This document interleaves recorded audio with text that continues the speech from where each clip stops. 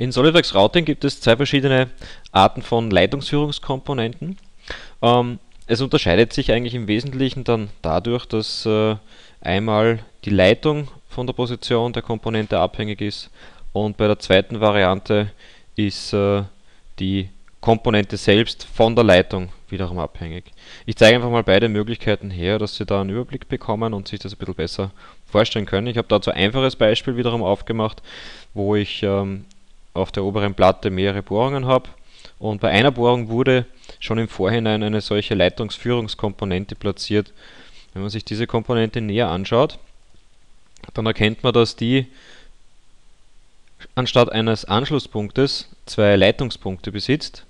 Und äh, das ist maßgeblich dafür, dass die Leitung dann auch nicht getrennt wird, sodass quasi die Leitung wirklich als gesamtes Rohr durchgeht. Man kann natürlich mit dem Routing Library Manager zum Beispiel diese einzelnen äh, Punkte noch bearbeiten oder die erforderlichen äh, äh, Sachen nochmal durchgehen. Ich habe dazu einmal diesen Routing Library Manager im Hintergrund geladen. Hier finden Sie auf dem ersten Tab die Möglichkeit, solche Leitungsführungskomponenten ähm, zu definieren. Ähm, ich sage halt mal hier, er soll für ein Rohrsystem eine Komponente generieren.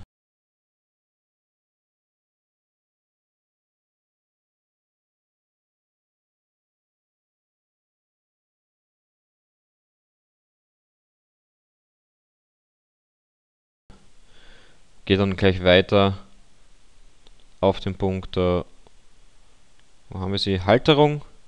Da kommen wir hier kurze Vorschau. Und dann startet eigentlich auch schon der Assistent. Äh, wichtig ist, dass im Hintergrund natürlich eine Komponente offen ist, an die er sich äh, orientieren kann.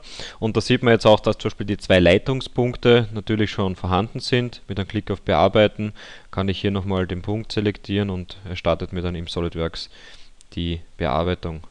Ähm, man kann hier keine Auswahl treffen. Diese Leitungspunkte, die hier drinnen sind, die äh, besagen einfach nur von wo nach wo die Leitung geleitet werden soll und äh, beinhaltet keine Nennweiten oder Durchmesser und dergleichen, wie man es vom Anschlusspunkt her kennt.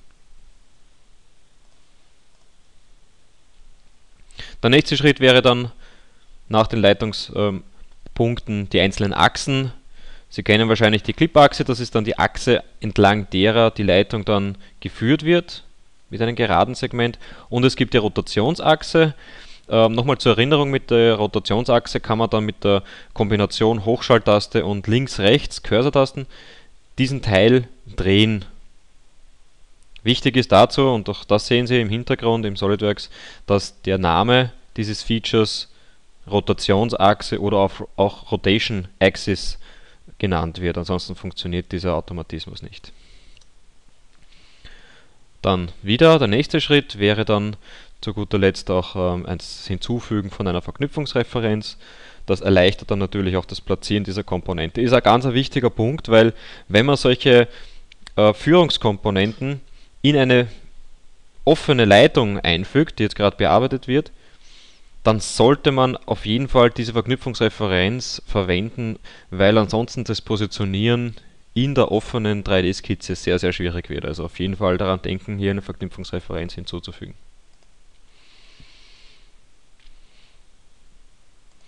Die letzten Schritte sind eigentlich optional, da kann ich nochmal auf Weiter klicken, das Modell ist eigentlich damit fertig. Man kann natürlich mehrere Konfigurationen erstellen, damit man dann auch die Größen anpassen kann.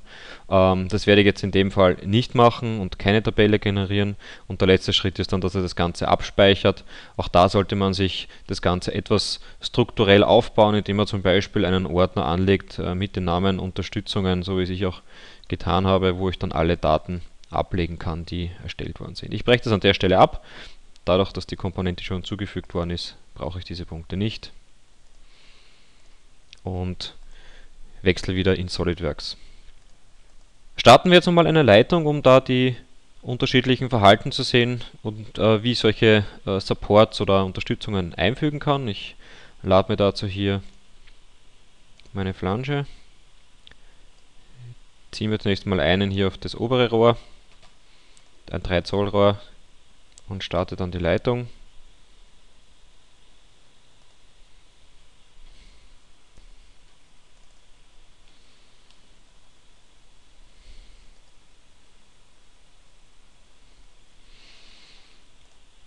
Diese Leitung soll hier bis nach unten geführt werden zum zweiten Behälter, darum platziere ich gleich unten den zweiten Flansch.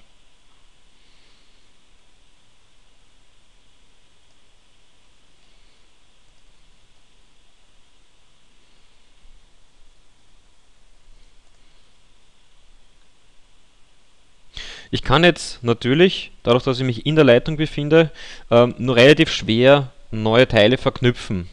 Also Sie sehen es vielleicht unschwer auch hier oben an der Symbolleiste, Verknüpfungen sind alle ausgegraut, also man kann da jetzt nicht sehr umfangreich navigieren. Aus dem Grund habe ich vorher schon noch erwähnt, dass es wichtig ist, die einzelnen Verknüpfungsreferenzen zu platzieren. Das heißt, ich wechsle jetzt wieder in meinen Unterstützungsordner, hier habe ich diese Riser Clamp von vorhin, die kann ich jetzt per Drag and Drop hineinziehen und die wird genau positioniert auf der Bohrung. Mit der Hochstelltaste und Links-Rechts-Tasten drehe ich das Ganze jetzt noch auf 90 Grad hin, lasse dann die Maustaste los und damit wird das Teil richtig eingebaut. Und damit ist es auch fixiert. Als nächstes kommt die Leitungsführung zu dieser Komponente. Das heißt, ich gehe dazu in diese automatische Leitungserstellung, die ich mir hier in das Shortcut-Menü gemappt habe, klicke dann den Punkt an, dann haben wir hier innen eine Achse, die ich verwenden kann für diese Leitungsführung und SolidWorks startet hier von A nach B eine Leitung. Kann man hier durchwechseln. Das ist eigentlich die simpelste Möglichkeit, die behalte ich jetzt auch bei. Und wie ich vorhin erwähnt habe, wird bei diesem Leitungspunkt die Achse übernommen in eine normale Skizze und dadurch verlängert er mir auch diese, dieses Rohr. Also Sie können dann nachträglich diesen Punkt nach unten schieben, wie bei jedem übernommenen Skizze Sie sehen auch, dass die Linie trotzdem voll definiert bleibt, also er hat hier definitiv eine Referenz auf diese ähm, Unterstützung hinzugefügt und ich kann von unten dann jederzeit wieder eine neue automatische Leitungsführung starten. Ich setze hier vorhin allerdings noch einen Abstand zu der Oberfläche quasi von diesem Blech mit ähm, 0,5 Meter. Jetzt setze ich die Leitungsführung fort gehe von dem Endpunkt zu dem offenen Endpunkt meines unteren Flanges und werde auch da nochmal kurz die automatischen Leitungsoptionen durchklicken, um mir da die beste Variante rauszusuchen. Nehmen wir die hier.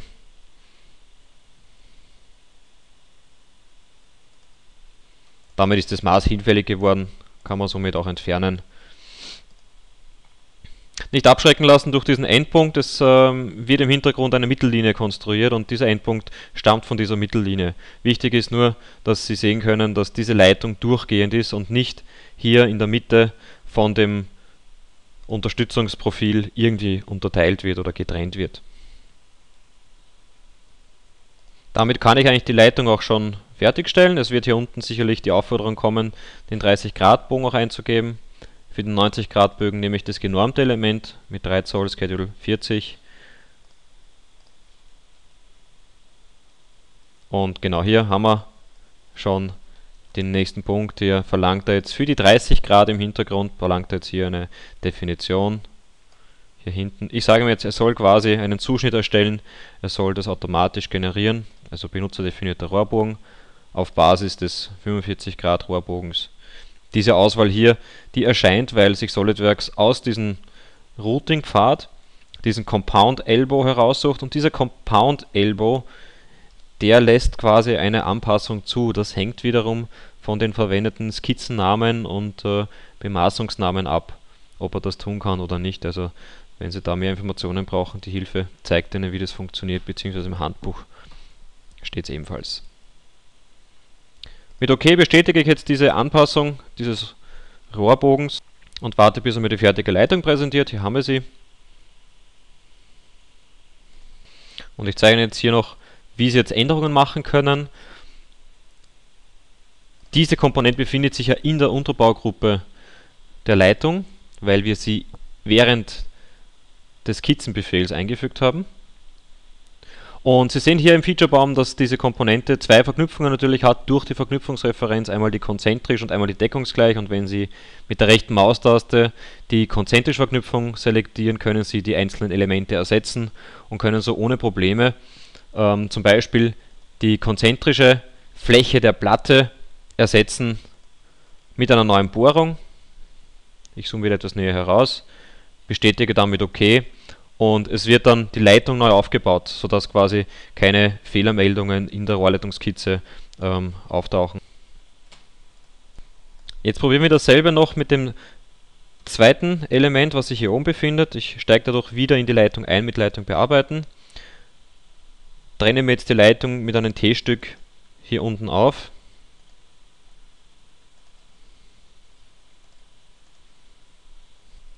Nehme hier zum Beispiel jetzt das Straight T-Inch. Auch hier mit der Shift-Taste, Hochstelltaste und den Cursor-Tasten lässt sich das Teil drehen, wie bei der vorherigen Komponente.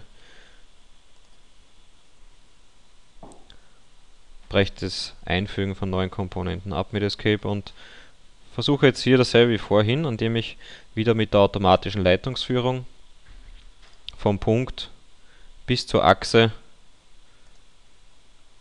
eine Leitung einfüge.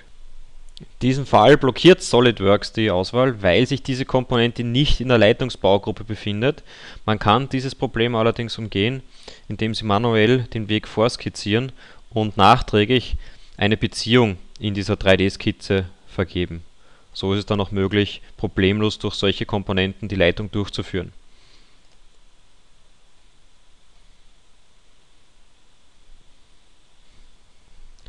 Nehme die Clipachse mit der Steuerungstaste die Linie und sage Kolinear, damit die Leitung hier genau durchgeht.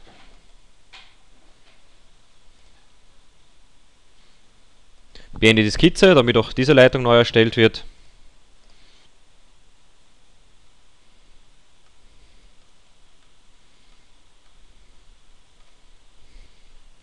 Verlasse auch hier die Baugruppe. Und ich zeige Ihnen hier jetzt auch noch, wie es sich verhält, wenn man jetzt so eine Komponente neu platzieren will. Es gibt da nämlich einen kleinen feinen Unterschied zu der vorherigen Strategie. Ich klappe nochmal den Featurebaum zu.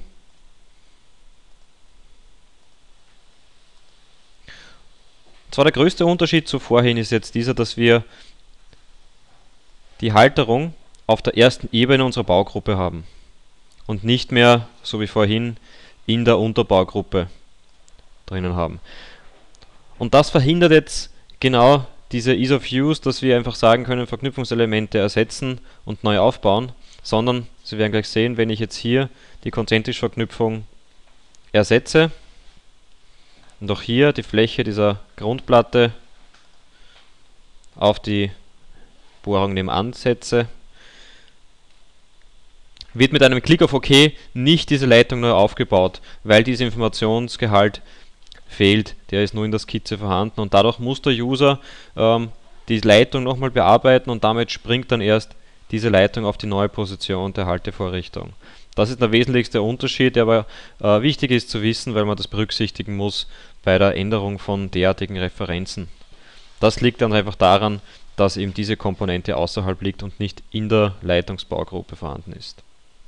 Möchten Sie eine Komponente hinzufügen, die automatisch mitwandert und nicht die Skizze steuert, dann fügen Sie diese am besten direkt in die Baugruppe der gewünschten Ebene hinzu, fügen diese ein und verknüpfen die so dass die Orientierungen an der Leitung vorhanden sind. Das heißt, in meinem Fall verknüpfe ich diese Rotationsachse mit der Skizze.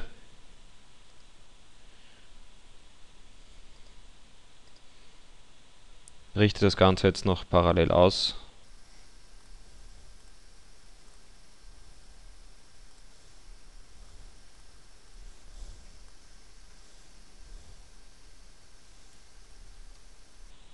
und passe da in meinem Fall noch die Länge an.